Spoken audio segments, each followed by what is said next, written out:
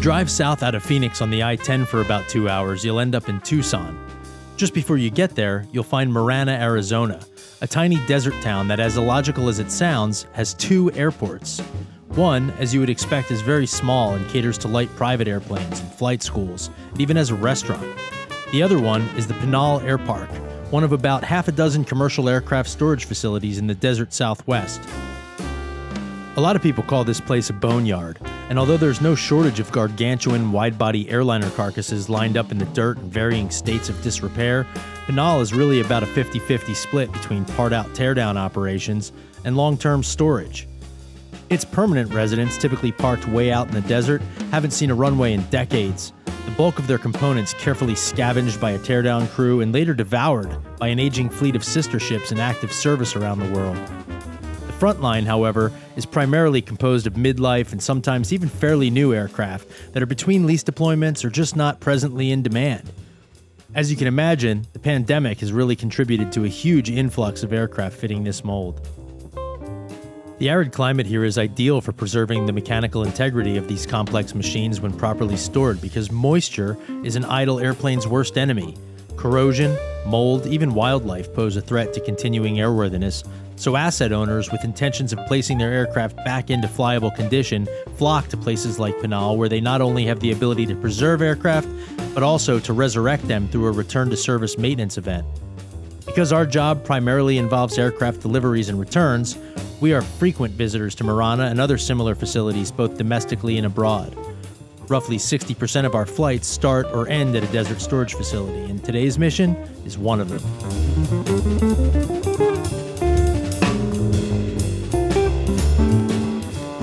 This 17 year old Airbus A319 had been in storage for about a year and a half. She certainly wasn't new, but still had strong engines and a fair bit of life left in her. Our job is to fly her the 6,600 nautical miles across the Atlantic Ocean to Zagreb, Croatia, where she'll join a fleet of other airbuy operating for a Croatian airline called Trade Air. As far as ferry flights go, a Western US to Eastern European transatlantic haul is pretty straightforward, even for a narrow body Airbus built for four to five hour domestic flights. Devoid of passenger or cargo payload, an empty A319 can fly for about seven hours comfortably, meaning that Europe is normally within reach from the northeast US. Unfortunately, this particular jet lacked a high frequency HF radio and a satellite data link required for operating in the track system. You know, those highways in the sky where a continuous stream of transatlantic traffic is organized into efficient lines. We'd have to stay north of and below this airspace on the flight, so two fuel stops, one in Portsmouth, New Hampshire, and one in Keflavik, were in order. People always ask, do you get nervous taking these airplanes out of the desert after they've been sitting? The answer is no, and that's because a lot of work goes into reactivating an airplane coming out of storage. Also, the regulator, FAA in this case, inspects both the plane itself and its maintenance records before issuing the ferry permit. Honestly, we expect there to be some minor issues with airplanes returning to the sky after a long rest. Modern airliners all have redundant systems and backups, and there are procedures in place for making flights with certain things inoperative. This comes in especially handy in our line of work. Shortly after takeoff, the airplane alerted us of an issue. The main fuel tanks, located in the wings, are divided into inner and outer tanks separated by a valve. This helps reduce wing flutter by keeping some of the heavy fuel out along the outer wing until it's needed. This system malfunctioned and the valves failed open, which is a good thing. If the valves failed closed, we'd have been unable to access that fuel and would have needed to make more stops along the way.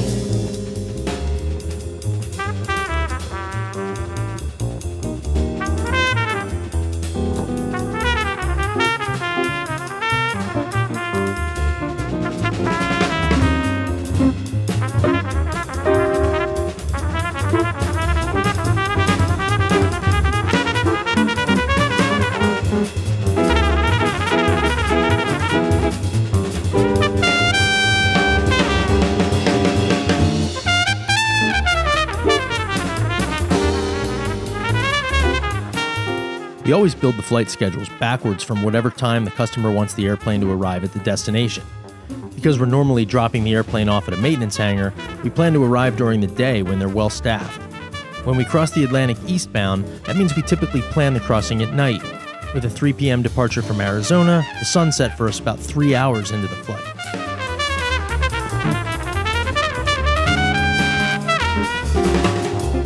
Unless the trip we're working is north south, we always have to deal with either abnormally short or extremely long days and nights. This is obviously because we're either tracking with or against the Earth's rotation.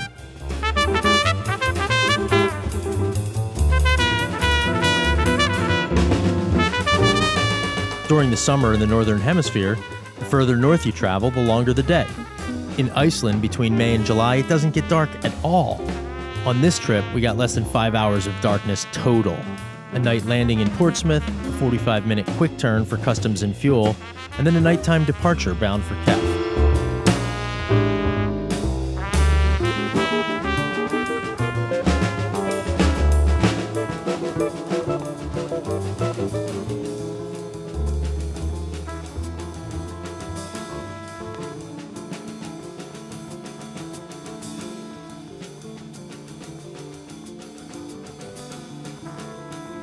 I don't fully understand this, but for some reason, always during that brief period of darkness, time, it gets all weird. Naturally, and regardless of how rested you are, in the dark, the mind begins to tire. Knowing this is coming, we try to keep busy.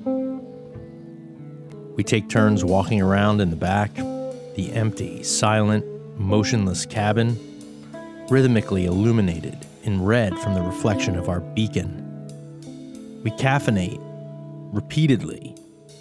We make small talk, play games on the iPad. With nothing to see out the window, it's boring. Like, really boring.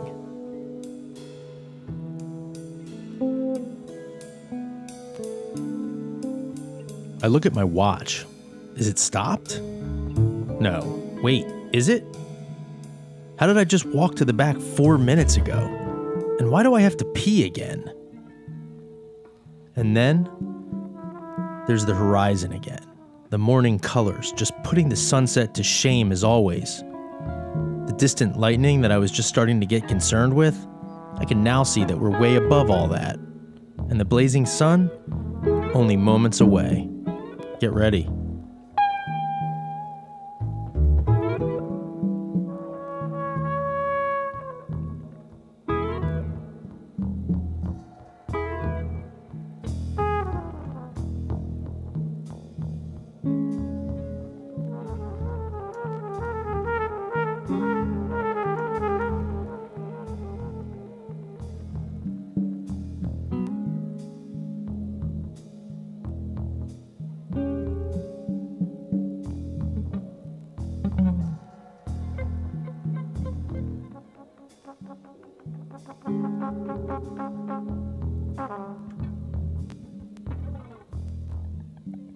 We just passed 45 degrees west, so we're over the southern tip of Greenland.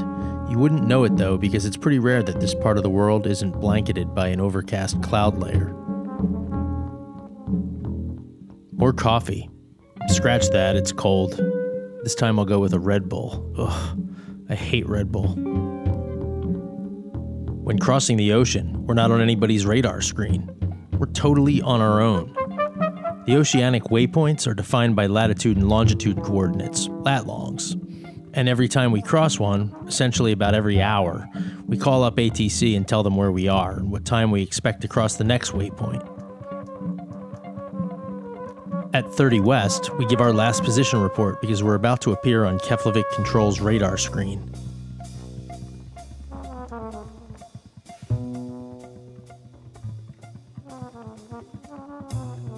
All right, Steve, get your shit together.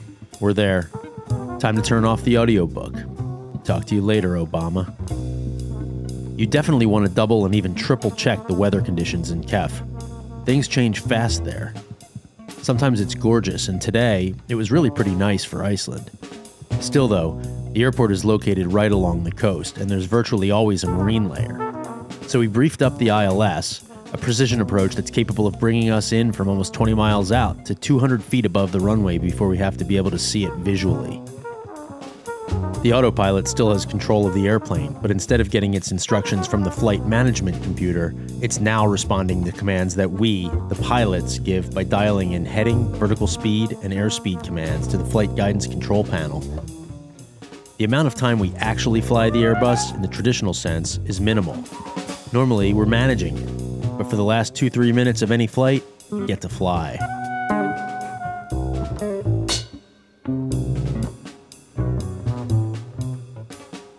Unlike most other airliners with a yoke, the Airbus is flown with a side stick. For some reason, this is a polarizing topic for pilots, but I don't understand why. The stick is great.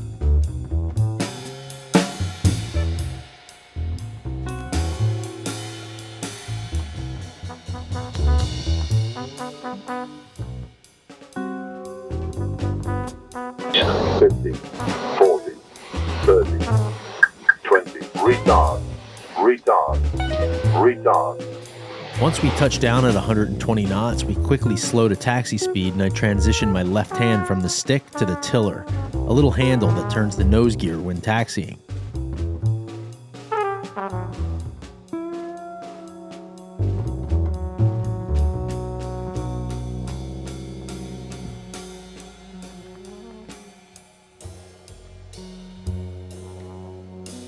Normally, the Keflavik airport is bustling with activity early in the morning. As the major hub for Icelandair, the airport serves up nonstop flights to points all over the world. Since the pandemic, however, the place is basically a ghost town.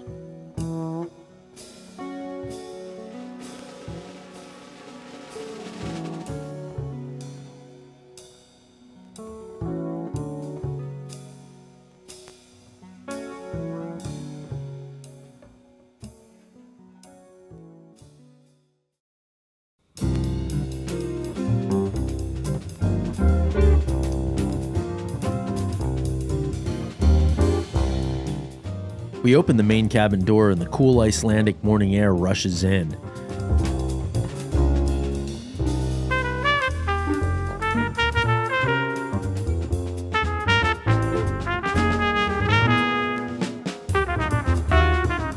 Just as the nighttime oceanic crossings always seem to suck the life out of you, the hour long break in Keflavik always functions as a shot of adrenaline right into the heart.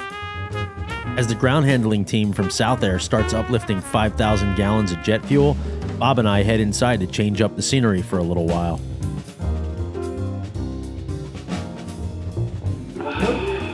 What's up, man? How's your coffee? my coffee. It's hot. It's very hot. It's very good. You want milk? Yeah, I want to get. No.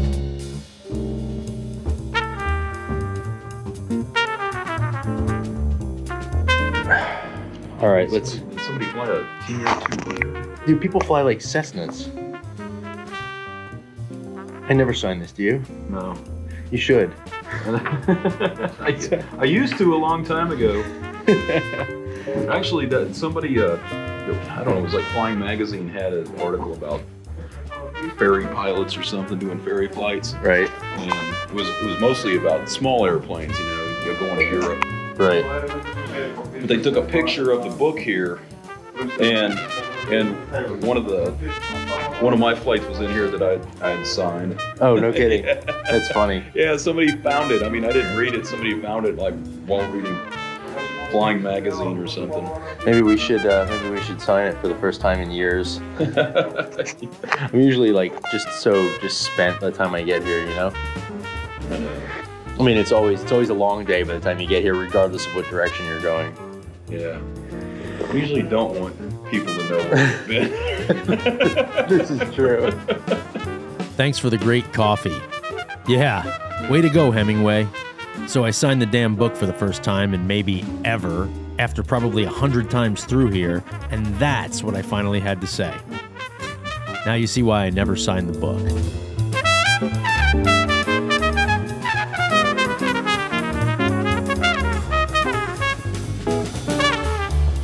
We were only actually able to spend about 15 minutes inside, and after paying for the services, it was time to get back on the jet to program the route for the next and final leg. European airspace is busy, and there are easily four times the number of waypoints to enter into the FMC. South Air is always great for giving us a fast and efficient turn, and just like that, we were back underway. After a short taxi out for departure, we blasted out of Kef southeastbound and dodged left around the volcanic plume, a sight we've been witnessing for over a year now. The flight from Kef to Zagreb is normally only about five or six hours with a direct routing, but for us today, things are different. Our flight is going to be just short of eight hours and will require we fly clear across the UK, France, and the Mediterranean Sea, where we'll make landfall over the northern coast of Algeria. Then we'll fly along the coastline to Tunis and navigate over Malta, past Sicily, and then finally northbound over the Adriatic Sea into Croatia.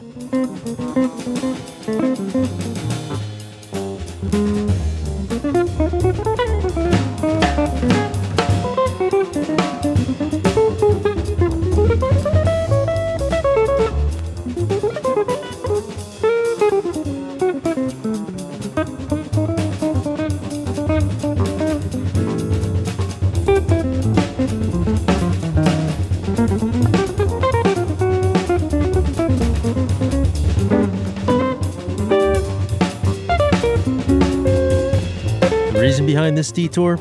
A holiday in Italy. Because of the long weekend leading up to the trip, we didn't have time to get overflight approvals for Italy, so we routed around it. Remember when I mentioned the ferry permit?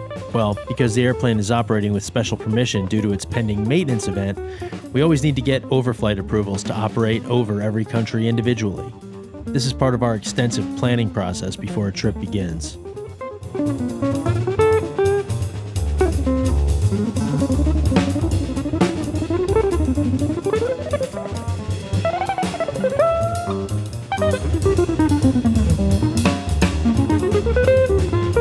20 hours from the time we released brakes in Marana, we're turning final over Zagreb and lining up for runway 4. Neither Bob nor I had ever been to Zagreb before. Weird, right?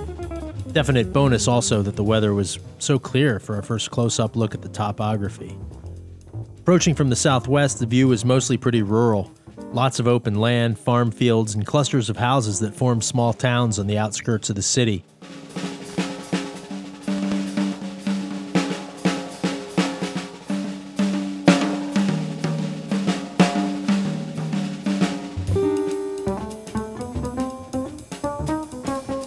The area was more mountainous than I expected. The visual approach reminded me a lot of arriving into Belgrade, Serbia, which actually makes sense.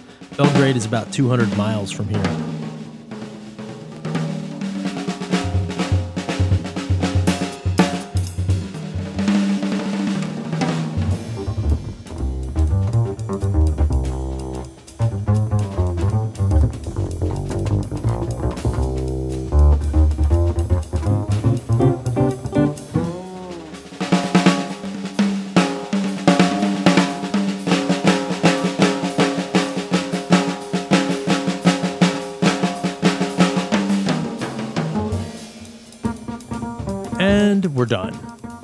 Flying part, anyway. Truthfully, it's always a mystery what to expect on arrival with a delivery flight. We've been greeted with water cannons, ceremonies, with bands. Sometimes nobody's there at all. We get off the airplane with no idea how to get a hold of whomever is supposed to meet us. In this case, the CEO of Trade Air was there personally to meet us. Marco is actually an Airbus rated pilot himself, and get this he not only runs the airline, but also works as a check airman training the line pilots and even flying trips sometimes. Just a super smart, interesting guy, and as it turns out, we made a new friend in Croatia. Marco ended up taking us out to dinner later that night and showed us around the city for a while. It is weird that of all the places that we've been on Earth, that we, we uh, have not been to uh, Croatia previously. Yeah. We've been banned for 20 years. We've just lifted the ban and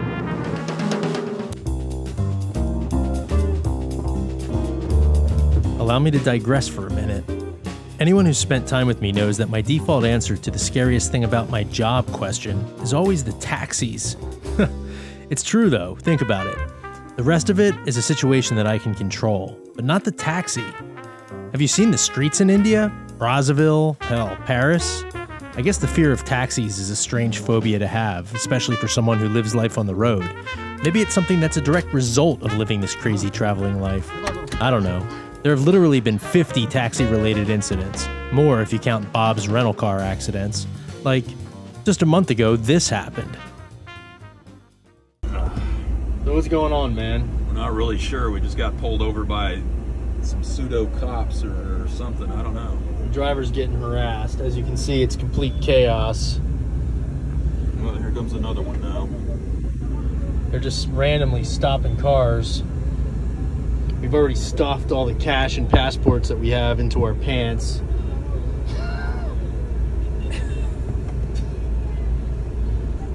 There is a guy selling waffles. It's not a not a fucking great situation. Um, We have to catch a flight in about two hours. We're very possibly going to miss if this doesn't get resolved soon. what time is it right now? I don't know. Let's see. As you can see, there are just, I mean, people, traffic. This is just a typical Kinshasa day. It's On the five, street. It's five o'clock. We've got three hours before our flight leaves. But of course, this is a two-hour trip. Not today, though. Actually, the ride to the hotel was very pleasant and quite fast. We barely had time to check social media.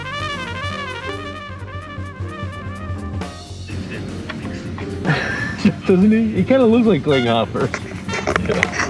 We're watching Roger Victor. Nothing makes sense to him. and Everything that doesn't make sense is that A video of a video. A video of a video.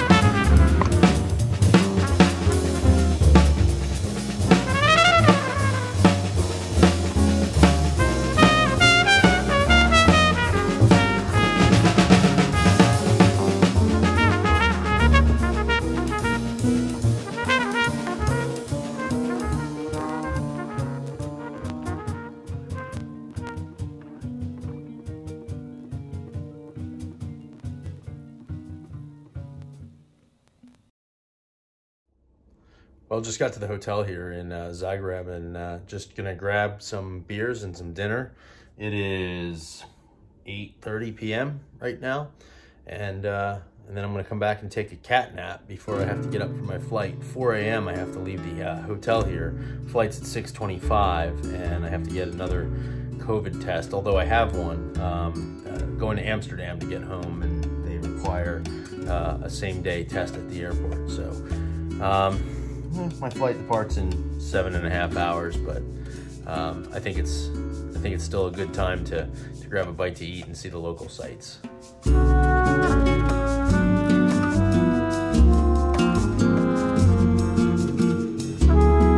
We didn't have long, and I didn't see much, but what I did see convinced me that I need to come back here.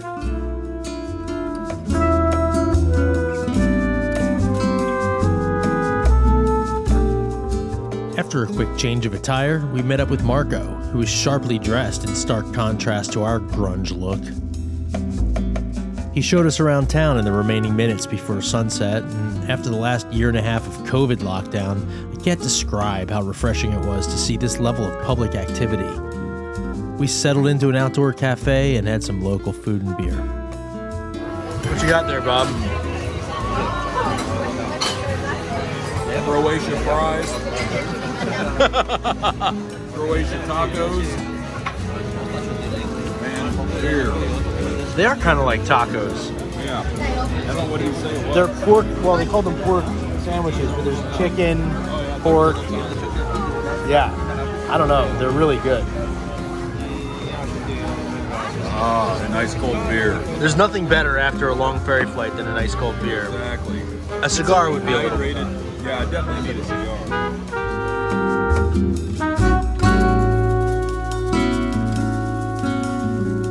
And that's pretty much where the story ended for me. A smooth, uneventful trip that got me back home to my family in slightly more than 48 hours from when I left. Crazy. The next morning, I got my third nasal swab of the week and hopped to KLM 737 700 to Amsterdam. It was a short flight and quite pleasant for European business class, which is basically coach but with food and a shorter line to get off.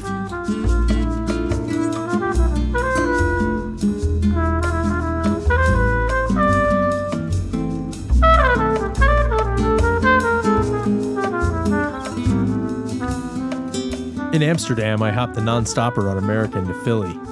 These days, they're running a 787 on the route, which is a huge improvement over their now retired A330s.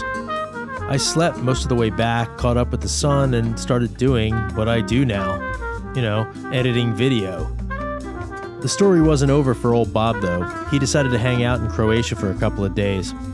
He gave me the lowdown on his experience and basically said it was one of the coolest places that he'd ever been.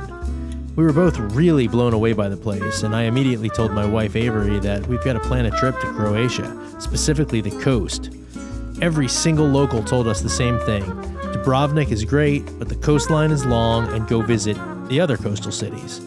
You can bet I'll do just that.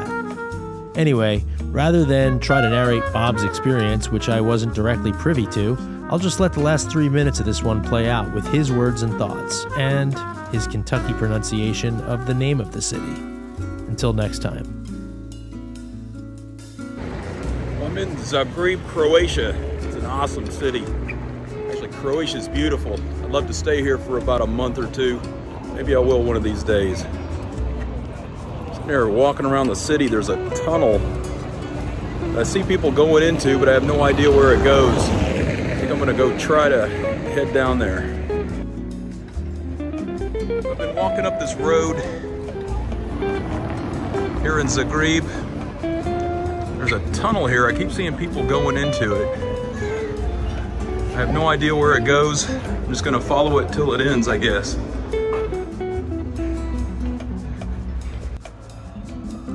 I came, came to a couple places I can go. I'm not sure if that's fog or smoke down there. I think I'll keep following it straight this way. Least I see people down here. Coming out of a smaller tunnel into a bigger one. I don't know if this is a more modern part of the tunnel or what. Back into a smaller tunnel. It's getting kind of foggy in here. It's kind of creepy. But uh, Zagreb's a very safe city. Actually, Croatia is a very safe country. So of exploring around here.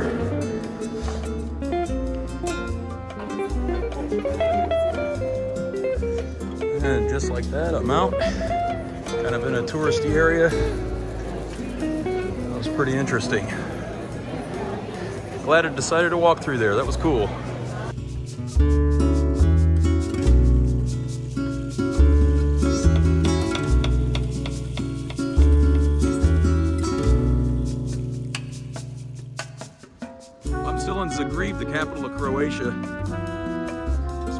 City. Lots of beautiful architecture. Lots of things to see. As you can see from the sign, there's all kinds of directions to go see a number of things. What I wanted to go see was this Museum of Mushrooms. Wonder what that's all about.